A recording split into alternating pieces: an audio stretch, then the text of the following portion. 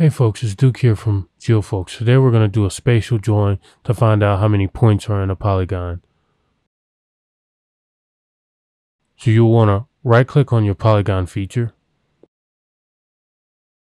go to joins and relates and click add spatial join. The target feature will be your polygon feature. The points feature will be your input feature, your join feature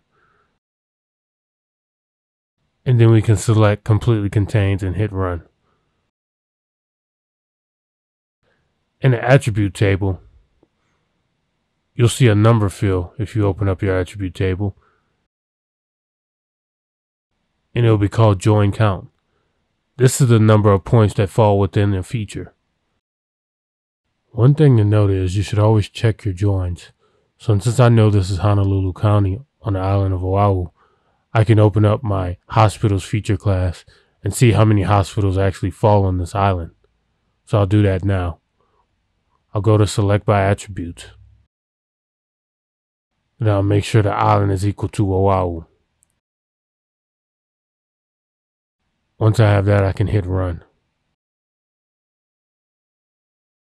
And we see there are actually 16 points on this island. So the join was performed correctly.